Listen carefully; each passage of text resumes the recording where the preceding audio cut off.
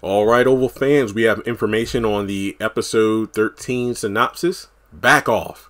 Sam calls Victoria out when she decides to interfere with his already rocky marriage with Priscilla. How exactly does she plan to interfere even further with that? Does she try to push up on Sam again? Does Sam catch her taunting Priscilla? I don't know. Or maybe, maybe Victoria finds out about Priscilla and Bobby, you know, doing a little something something in one of the rooms of the White House, tries to tell Sam about it. He gets defensive about it. It's like, see, Victoria, this is what you're doing. You're trying to, you know, Miss Franklin, you tr- uh, First Lady, you just trying to start some shit. That's all it is.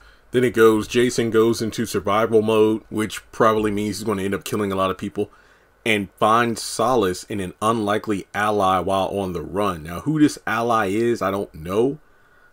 Um, I'm thinking like Dale, Alan, Lily, just other people who have been on the run and who might go on the run again in the future. I don't know who. Um, probably got to wait until next year to find out, but that's pretty much it. I'm more intrigued in the first part of the synopsis in the back half, but that's really all I got to say about it. So let me know your thoughts in the comment section below. Like and subscribe. And with that being said, I'll catch you in the next video.